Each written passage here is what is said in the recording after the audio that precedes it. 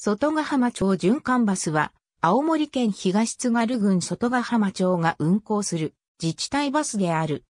2005年3月28日に、蟹田町、平立村、民間屋村合併に伴い、三町村で運行していた循環バス、村営バスが、外ヶ浜町循環バスとなって誕生した。三地区とも自家用自動車による優勝運行の形態をとっている。蟹田町循環バス当時の車両蟹田地区循環バスは、外ヶ浜町旧蟹田町域内を循環運行するコミュニティバスである。旧蟹田町が運行していた蟹田町循環バスを引き継いだものである。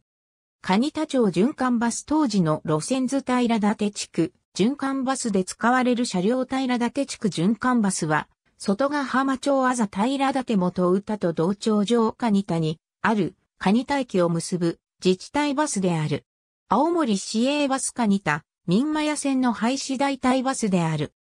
外が浜町役場外が浜中央病院、蟹田駅外が浜町漁協、平立郵便局前から、平立支所前から、元歌民間屋地区循環バスで使われる、車両民間屋地区循環バスは、外が浜町あざ民間屋東町にある民間屋駅と同町両費を結ぶ自治体バス。青森市営バス、達比線廃止に伴う廃止代替バスである。民間屋村当時の車両。ありがとうございます。